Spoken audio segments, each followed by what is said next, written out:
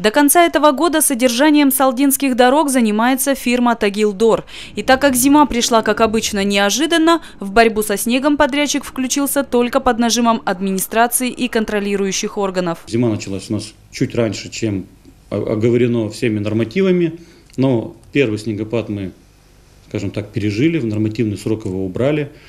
А сейчас устраивается, довольно-таки сложно устраивается работа с этим же подрядчиком, который был в прошлом году. Подрядчик а, где-то получается у него, где-то он срывает сроки, выставляем ему штрафы, совместно с ГИБДД отрабатываем а, те нормативы, которые должны быть, то есть это подсыпка пешеходных переходов, подсыпка перекрестков, обеспечение расчистки карманов автобусных остановок.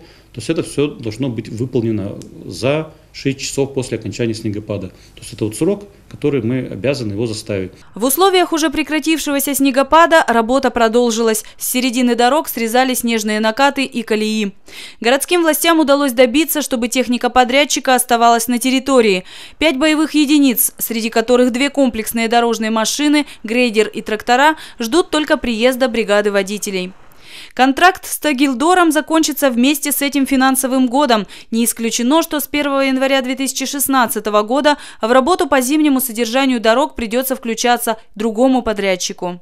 Дальше мы готовим уже следующую документацию, чтобы с 1 января зашел подрядчик уже по следующему договору, подхватил, чтобы не было этого разрыва, и вычищал дороги в надлежащем качестве. То есть условия контракта мы сейчас ужесточать будем, чтобы были более весомые штрафные санкции, чтобы были весомые э, условия выполнения контракта. То есть это все надо, скажем так, делать рамки все более и более уже. Не забывают и об удобстве пешеходов. Сразу несколько подрядчиков задействовано в зимнем содержании тротуаров и их подсыпке.